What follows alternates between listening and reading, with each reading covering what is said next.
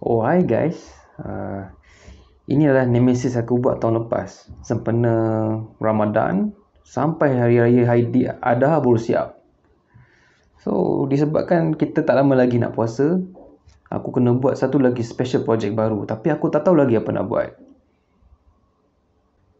Tapi sebelum tu Kita throwback dulu Special project tahun lepas. Hmm.